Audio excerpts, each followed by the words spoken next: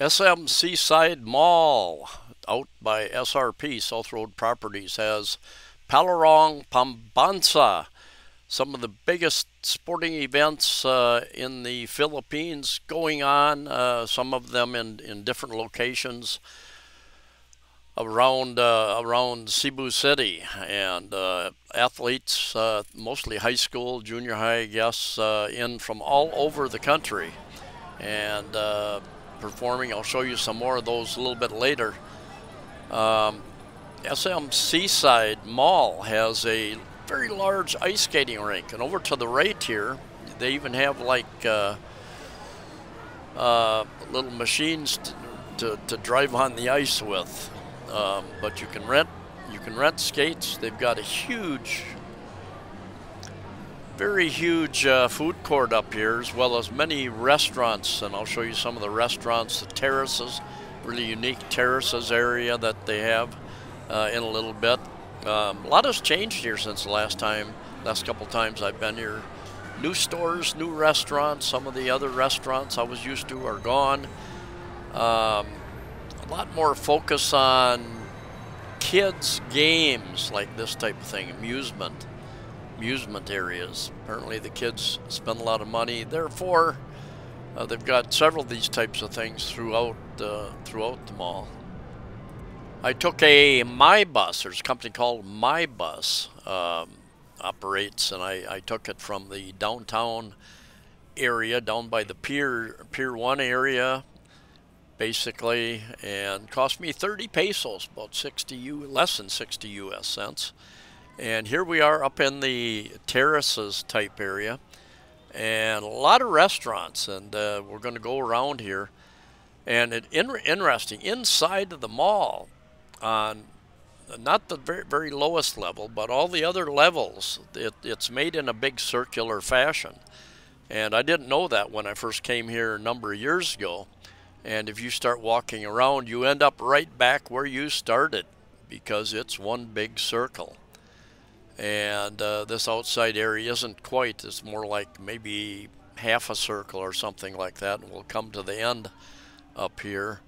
Uh, but you can see, and as I mentioned before, Filipinos like to do things as families and groups. Um, and uh, yeah, you'll you'll you'll see up here just huge huge groups of Filipinos joining together, where uh, a lot of times us Westerners, one or two people, or just by ourselves, and I'll often be asked, "Sir, you're by yourself. Why why are you by yourself?" because I'm hungry and you're a you have a restaurant and I want to eat. No big deal. I can enjoy my time.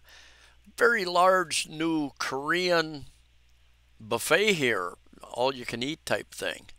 And uh, that is relatively new, I think. But yeah, you'll see just huge, huge food in the center area there, I believe. If you're uh, into the Korean foods, off to the right, they've got seating. They've got seating out out here and uh, and inside as well. And off to the right, and we're going to go out there, big terraces area, and uh, yeah, you get to take a look at that anyway. Number of different events going on up here, more restaurants. I have had to mute a big section of this video because the music playing in the background, I'm sure that it is copyrighted. And yeah, more restaurants, seafood place there. Uh, they've got a new government office up here, you'll see in just a little bit, uh, for passports, for you Filipinos needing passports, right in here. And uh, temporary office, they've got a number of those, I guess. Pacific Mall and here, a couple other places. Uh, in the past, it was almost impossible to get appointments at these places because they were always full. And you had to go to Consolacion or Bacolod or Iloilo or Dumaguete and here we are. You can rent bicycles here. These these girls rented a bicycle to ride outside. And look at the main highway. SM Seaside sits right on the main highway from south to north, going into Cebu City, going north there. That is the new bridge, the CCLEX uh, Cordova Cebu Link Expressway, a tollway taking you, uh, so there's three bridges right now. A fourth one is planned up on the north side of Cebu City, going over to Mactan Island. And this is the big terraces area. And at night, I think these uh, colored fountains uh, put on a little bit of a display. And there's a number of, of grassy areas here. I've, I've been up here in the past where a lot of people are are sitting, having little picnics out here a little sitting area, steps here you can sit on as well. And yeah, they've done done some uh, nice nice decorating with the uh, seaside related designs.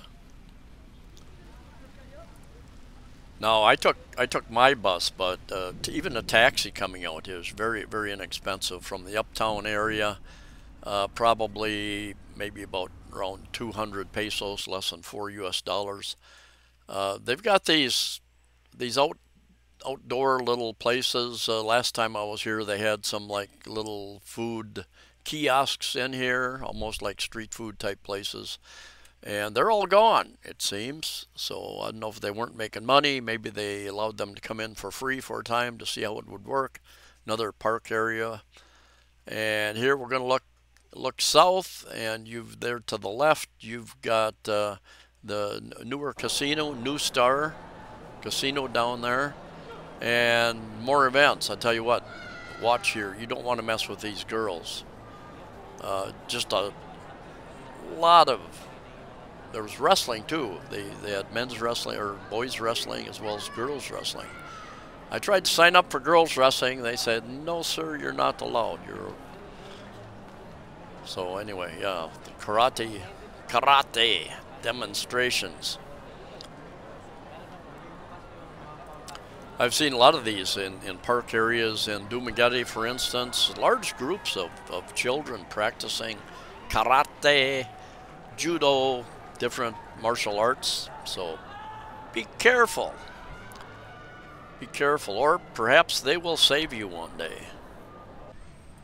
Now from the upper terraces looking out over, that is a huge new sports uh, arena type place over there and they're going to have, uh, plan is to have concerts and, and sports, various types of things going up fairly rapidly. A couple years ago I did a a video about uh, the infrastructure going in out here, including NuStar, uh, Star Hotel and Casinos, and the sports complex here, and off in the distance, that is Cebu City.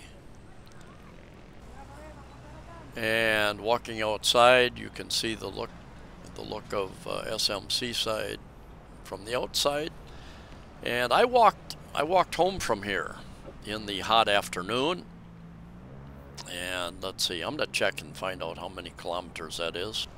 The way I walked down here into Mambaling and then uh, down towards uh, Colon Street and then down to Carbon Market. And uh, it says it's about 9.3 kilometers uh, or about five and a half miles.